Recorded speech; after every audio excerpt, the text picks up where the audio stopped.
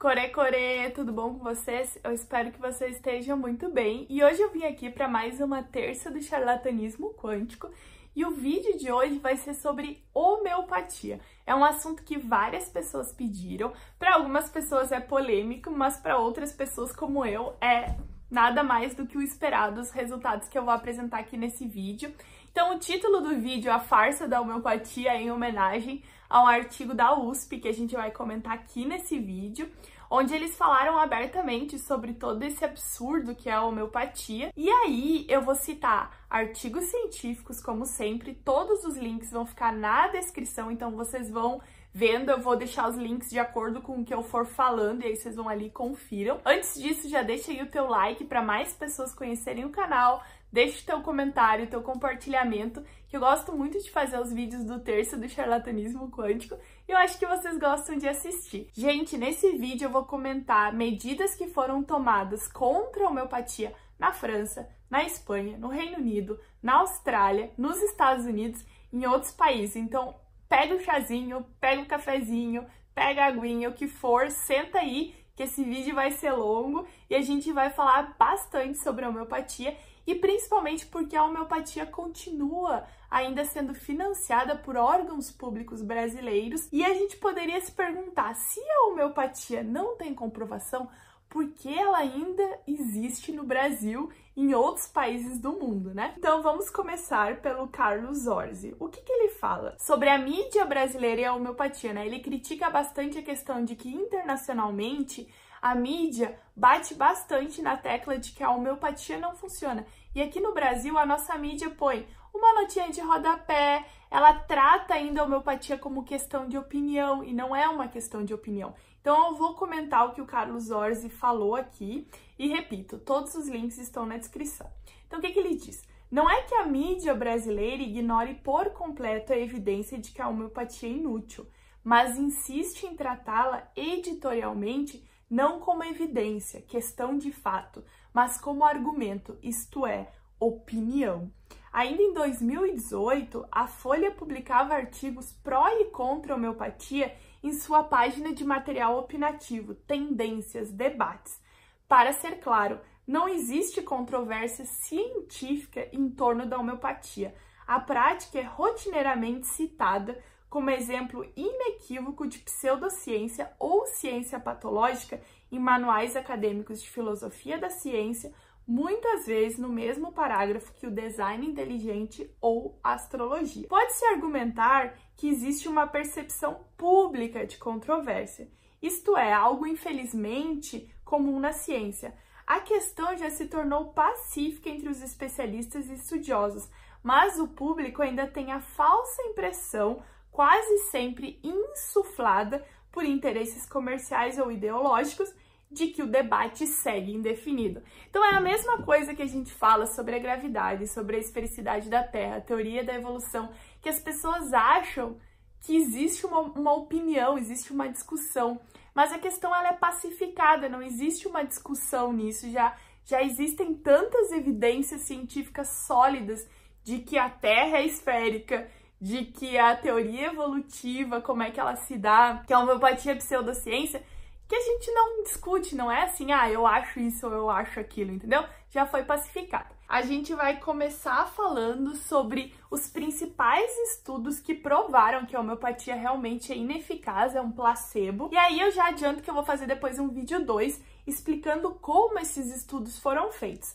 Nesse primeiro vídeo, a gente vai abordar um pouco de mídia, um pouco dos outros países em relação à homeopatia. Ponta do iceberg foi o editorial publicado pela revista The Lancet em 2005. Ele publicou um trabalho bem grande que, ou seja, um editorial, né, e, e, incluíam vários trabalhos, e um deles é o trabalho do Chang e colaboradores. Esse editorial da The Lancet chama O Fim da Homeopatia. Então, eles fizeram um estudo comparando a homeopatia e a alopatia. Os vieses estão presentes em estudos controlados por placebo da homeopatia e da medicina convencional. Quando foram levados em consideração esses vieses na análise, havia poucas evidências de um efeito específico dos remédios homeopáticos, mas as fortes evidências de efeitos específicos de intervenções convencionais, ou seja, dos alopáticos. Esse achado é compatível com a noção de que os efeitos clínicos da homeopatia são efeitos placebo. Então eu só comentei aqui rapidamente a conclusão do estudo deles, que foi um dos principais, né? Que é realmente quando a gente pega e analisa o trabalho de maneira crítica,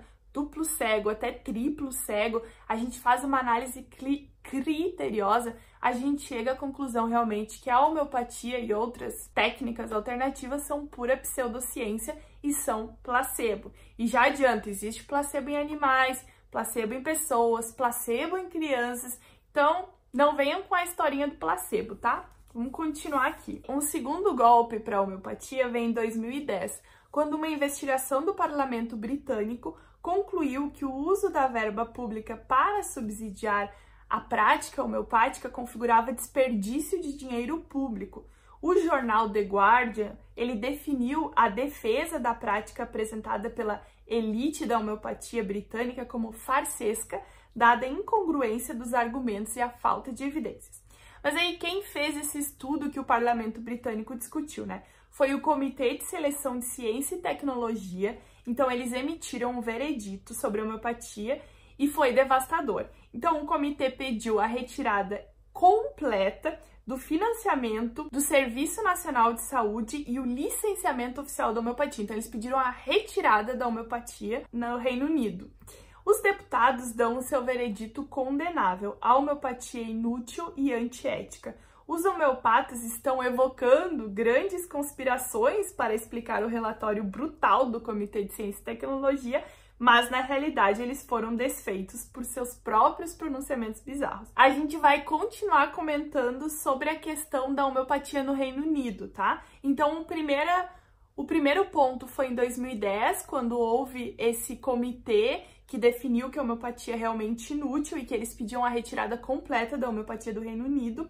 Mas aí, em 2014, foi quando as coisas realmente começaram a acontecer. A Sociedade do Pensamento Racional em Tradução Livre, Good Thinking Society, lá no Reino Unido, eles decidiram investigar e questionar o gasto público com homeopatia.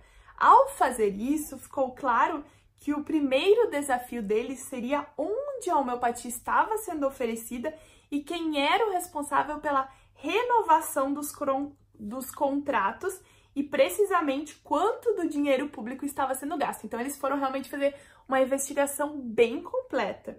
E aí os resultados mostravam um panorama claro. O financiamento da homeopatia no Reino Unido, financiamento público, tá, gente? Estava intimamente relacionado aos locais onde ainda existiam hospitais homeopáticos, então Londres, Liverpool, Bristol e Glasgow. Então, as áreas desses entornos dessas cidades gastavam aproximadamente 25 milhões de dólares em homeopatia por ano. O efeito do trabalho deles foi significativo. Em junho de 2016, a Autoridade de Saúde de Liverpool encerrou o financiamento da homeopatia e aí em março de 2018, as 17 autoridades regionais de Londres proibiram que todo e qualquer recurso fosse utilizado para consultas e remédios homeopáticos. O uso rotineiro de homeopatia no Serviço Nacional de Saúde na Inglaterra chegava ao fim. Então, isso foi em 2018. E aí, conselhos de saúde no país de Gales aproveitaram a onda e encerraram os financiamentos em homeopatia. A Irlanda do Norte também. E a Escócia reduziu significativamente seus gastos, apesar de não ter acabado com o gasto completamente. E aí eles dizem: nossa campanha para banir o financiamento total de homeopatia no Serviço Nacional de Saúde não acabou. Ainda há financiamento na Escócia e temos que monitorar fornecedores em Londres para garantir que a lei seja cumprida. Eles conseguiram acabar com a maior parte da homeopatia no Reino Unido porque eles foram diretamente nas prefeituras e nos departamentos que renovavam essas concessões usando dinheiro público. E aí eles apresentaram nesses locais provas concretas de que a homeopatia não funcionava. Aí a homeopatia tá batendo retirada do Reino Unido desde 2014.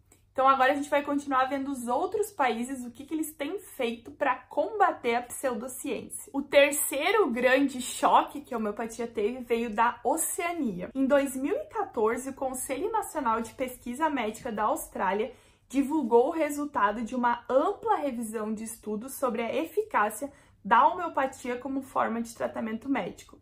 Assim como os autores do artigo do The Lancet e o Comitê do Parlamento Britânico, os australianos chegaram à conclusão de que não existe prova nenhuma da eficácia da homeopatia. Os trabalhos na Austrália foram realizados pelo próprio Serviço Nacional de Saúde, os pesquisadores deles, e aí eles comentam: não há evidências confiáveis de que a homeopatia seja eficaz no tratamento de problemas de saúde. E aí, um dos estudiosos que fez essa pesquisa comenta para o The Guardian, né? Ele comenta assim: sabemos que muitas pessoas têm doenças de curta duração por sua própria natureza e seus corpos as curam.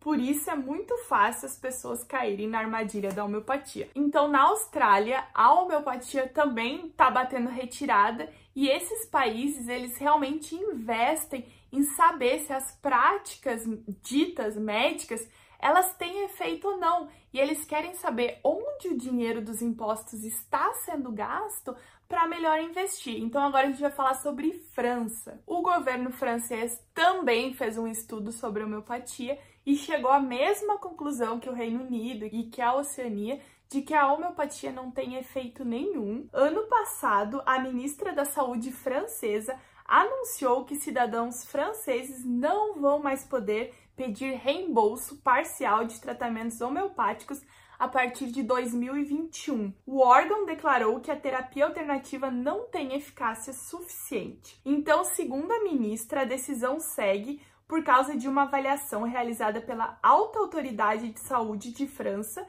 que no final de junho concluiu que a eficácia dos medicamentos homeopáticos é insuficiente para justificar o subsídio pelo Estado francês. Então, com isso, 1.163 medicamentos homeopáticos deixarão de ser parcialmente subsidiados. O fim da política deve significar uma economia de 126 milhões de euros anuais para a França. Eles antes pagavam parcialmente os remédios homeopáticos. Então, a partir do ano que vem, a França só vai devolver 15% do valor gasto em homeopatia e em 2021 não vai devolver nada. Então, a pessoa que quiser usar a homeopatia, ela vai pagar privado e a França também não vai mais ajudar fábricas ou empresas que fazem remédios homeopáticos. Isso com certeza vai gerar o fechamento de inúmeras fábricas ou farmácias que fazem realmente remédios homeopáticos. Se vocês perguntarem, existem trabalhos científicos que falam bem da homeopatia? Sim, mas nenhum com rigor, nenhum estudo sério. E aí a gente pode pensar na, na nossa anedota do outro vídeo do guru que levita, mas só quando ninguém tá olhando. Se alguém tá olhando, ele já não levita. Então é a mesma coisa, né?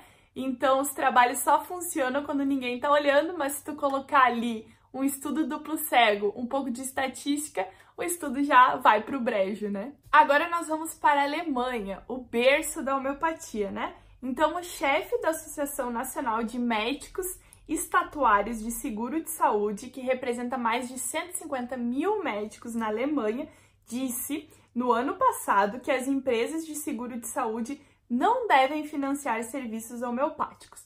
Ele diz: não há evidências científicas suficientes para a eficácia dos procedimentos homeopáticos. Se as pessoas querem remédios homeopáticos, devem tê-los, mas não às custas da comunidade. Então, na Alemanha, seguindo a ideia da França e do Reino Unido e da Austrália, eles também estão pedindo a retirada de todos os subsídios pagos pelo governo para os remédios de homeopatia. Então agora a gente vai para a Espanha. Na Espanha saiu um estudo feito pela Universidade de Valência também sobre a homeopatia, e aí o estudo deles são um pouquinho diferente. Eles estudaram o tipo de pessoa que usa homeopatia. Então eles chegaram à conclusão, né, de que dois terços do total de pessoas que usam homeopatia são mulheres e com idade média de 46 anos. E aí, apenas 5% dos entrevistados falaram que usaram homeopatia no ano passado, só que aí eles perceberam um pequeno probleminha, que muitas pessoas não sabem o que são remédios homeopáticos ou para que servem, porque muitas pessoas falaram que usam homeopatia para manter a saúde bem, para não ficar doente. Então, a Espanha também concluiu que existem poucas pessoas no país usando homeopatia, que elas não estão muito satisfeitas, e a Espanha também já está entrando com medidas para tirar a homeopatia do sistema de saúde deles e tirar qualquer subsídio para homeopatia. Ainda sobre a Espanha, eles querem ser um pouquinho mais rígidos que a França e o Reino Unido. Eles querem que os remédios homeopáticos que existam no mercado passem pelas mesmas provas científicas que os remédios alopáticos. Então, ano passado, a Espanha recebeu o pedido para mais de 2.008 uh, homeopáticos entrarem no mercado, né? E desses 2008, apenas 12 fizeram o pedido para serem comercializados se o médico receitasse.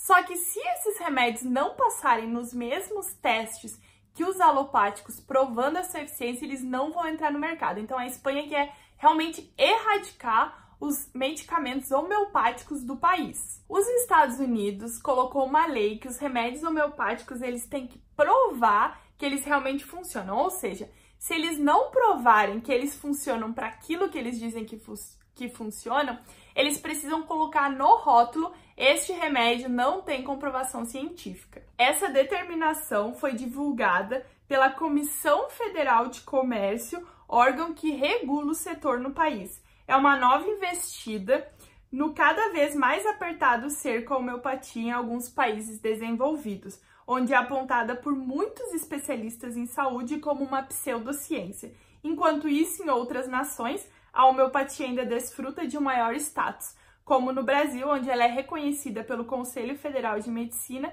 desde 1980. Então já é uma crítica ao Brasil, né? Enquanto a maior parte dos países desenvolvidos está tirando a homeopatia, o Brasil ainda tem uma aceitação muito grande de homeopatia e as pessoas acham que tá aí em discussão se ela funciona ou se ela não funciona. Aí eu aconselho que vocês também leiam a reportagem que saiu na Gazeta do Povo chamada porque a homeopatia, mesmo sem comprovação, ainda tem espaço no Brasil. E aí eles começam dizendo assim: nenhum estudo sério comprova qualquer benefício da homeopatia além do conseguido pelo efeito placebo. Ainda assim, ela segue sendo indicada como tratamento a despeito de todos os seus riscos. Então leiam que está aqui no link. E agora a gente vai para o jornal da USP, que deu o nome desse vídeo, que é A Homeopatia é uma Farsa. Essa matéria foi escrita pelo professor doutor em genética molecular Benny Spira. Então, o que, que ele fala? A primeira pergunta que ele responde é por que a homeopatia é errada, arcaica e perigosa? Então, ele fala dos dois princípios da homeopatia, que um é o princípio dos similares, então tu cura o similar com o similar, e o segundo princípio é a lei dos infinitesimais. E aí ele começa com o exemplo do similar cura similar. Resfriados podem ser tratados com cebola, pois a cebola, ao ser picada, causa sintomas parecidos com os dos resfriados, coriza, irritação dos olhos e outros. Então, se o paciente tomar um remédio baseado em allium cepa, por uma semana ficará curado do resfriado. Que maravilha! Imagine o que acontecerá se o paciente não tomar o remédio cebolístico por uma semana. Você adivinhou, o resfriado passou assim mesmo. Portanto, o princípio de similar cura similar é interessante, mas absolutamente errado. Se o primeiro princípio da homeopatia é equivocado, o que dizer do segundo? E aí ele cita uma frase do Pauli que eu adoro, que é é tão absurdo que nem errado é. Ele comenta sobre a lei dos infinitesimais, né? Então ele fala o seguinte: a lei dos infinitesimais estabelece que quanto maior a dilu diluição de um medicamento, maior a sua capacidade curadora. Se você não entendeu, não se preocupe. É tão contrário à lógica e às ciências químicas e farmacêuticas que nossa cabeça, dominada pela hegemônica ciência racional, não consegue entender o, a grande sabedoria por trás desse princípio. Então, ele explica com outro exemplo. Na homeopatia, trióxido de arsênico é recomendado para o tratamento de diversos males, entre eles asma, resfriado, diarreia, etc. Mas espere, arsênico é extremamente tóxico, além de ser carcinogênico. Como pode então ser utilizado para a cura de qualquer coisa? Aí vem a grandiosidade do segundo princípio da homeopatia. Basta diluí-lo que o efeito tóxico desaparece. mas o efeito curativo não só permanece na solução diluída, como tem seu potencial aumentado. Por isso, remédios homeopáticos são normalmente diluídos 10 na 30 vezes, né? 10 elevado na 30. Há, porém, um pequeno problema. O químico Amedeo Avogadro, vocês se lembram da lei de Avogadro, do século XIX, demonstrou que um molde, uma solução de qualquer composto contém 6 vezes 10 na 23 unidades desse composto, ou seja, um molde, uma solução de trióxido de arsênico, contém 6 vezes 10 na 23 moléculas, uma vez que a solubilidade máxima de trióxido de arsênico em água é de apenas 0,1 mol por litro. Ao diluir essa solução 10 na 30 vezes, Adivinhe quantas moléculas de trióxido de arsênico restarão num composto diluído? Nenhuma. Foi como diluir uma gota no oceano. Sendo assim, como pode um remédio homeopático curar uma enfermidade? A resposta óbvia é não pode. Não há nenhum mecanismo que explique como uma solução homeopática ultra diluída possa ter qualquer efeito curativo. E aí ele segue, por que a homeopatia é perigosa? Então ele fala sobre doenças que não podem ser curadas de outra maneira que não com antibióticos e remédio, onde a comprovação é realmente provada, né? Como a pneumonia, por exemplo. E aí ele diz os perigos de algumas pessoas tentarem curar todos os males com homeopatia. Ele falou que para resfriados e outro tipo de doença que o teu corpo acaba autorregenerando, tudo bem, tu não precisa desses remédios, mas para ter a consciência de que existem sim doenças que tu não pode tratar de outra maneira que não com remédio alopático. Se tu vier com mimimi da indústria farmacêutica, blá blá blá, assiste o vídeo passado, indústria farmacêutica versus indústria alternativa, e vocês vão ver que a indústria alternativa não é nenhuma santa e ela ganha bilhões de dólares. Aí eu recomendo uma outra leitura que é do El País, que é se a homeopatia não funciona porque não é proibida, não há estudos que endossem o tratamento, nem sequer é necessário um diploma para receitar homeopatia. E aí eles até fazem uma paródia, né? Uma, uma piadinha. Um homem entra em um hospital homeopático depois de sofrer um acidente de carro. O médico pede à enfermeira para pegar uma peça do carro que o atropelou, diluí-lo em água e agitá-lo repetidamente para colocar três gotas do líquido resultante sob a língua do ferido. Se isso não salvar, não sei o que irá, exclama o médico. Eu achei muito boa essa piada porque é, é o retrato da homeopatia. E aí eles ainda seguem que é um negócio muito lucrativo, embora soe como piada que eles fizeram, né? O negócio da homeopatia gera enormes quantidades de dinheiros e seus seguidores somam milhões em todo o mundo. E aí o que eles dizem? Além disso, a homeopatia pode realmente ser prejudicial, atrasando ou impedindo o paciente de procurar atendimento médico adequado baseado em evidências e minando a confiança do paciente e do público nas evidências científicas. Em vários países aí que eu citei no mundo, a homeopatia já está batendo retirada ou já foi retirada por completo, não está mais sendo financiada pelo Serviço Nacional de Saúde, as pessoas não estão mais utilizando realmente em muitos países a homeopatia. E aí fica a pergunta, por que que no Brasil a gente ainda continua usando a homeopatia? Por que, que a mídia brasileira continua colocando só uma notinha de rodapé quando se trata dos casos que repercutem na mídia internacional, como os estudos que provam que a homeopatia não funciona, porque realmente, se a pessoa não for pesquisar isso, ela não vê grandes comentários na mídia brasileira. E aí a mídia ainda trata um pouquinho a homeopatia como uma questão de opinião, né? Que na verdade não é uma opinião, já tá pacificado. Então o vídeo de hoje era mais para mostrar para vocês o que existe nos outros países, o que, que os outros países pensam sobre a homeopatia. Vocês viram que a homeopatia está caindo, o reino de homeopatia está sendo desconstruído e não num desperdício de dinheiro público. Essa é a minha opinião real e sincera. No Brasil, infelizmente, a gente ainda gasta milhões do dinheiro público em homeopatia. Eu realmente acho que esse dinheiro deveria ser usado para coisas mais úteis, usado para, por exemplo, leitos em hospitais para melhorar as condições dos equipamentos hospitalares, ter mais remédio comprovadamente, cientificamente em hospitais, e, enfim, ajudar em outros quesitos e não gastar milhões em homeopatia em algo que não funciona. Se for para usar uma gotinha diluída em água, eu tomo um copo d'água ali, espero o resfriado passar e tá tudo certo. Então, eu espero que vocês realmente curtam, curtam, curtam muito o vídeo aí para mais pessoas receberem. Deixem o seu comentário, compartilha. Se tu não é inscrito no canal, já te inscreve. Segue no Instagram, Twitter, Bibi Bailas, podcast Panoramas, Instagram pano.cast. E não esquece, se tu for deixar o comentário do mimimi aqui, lembra, não é opinião, já tá pacificado. E se tu quiser comentar alguma coisa, deixa um artigo científico, não coloca linkzinho aí que a gente não vai dar bola. E, os, e o pessoal do meu público tem muito conhecimento para responder vocês, porque eu vejo nos comentários que vocês respondem mesmo com artigo, com embasamento científico. Nossa, eu fico mó feliz quando eu vejo vocês respondendo as pessoas com embasamento científico, que me dá uma alegria aqui, ó. Só amor por vocês, muito amor, muito amor. E é isso, até a próxima, tchau!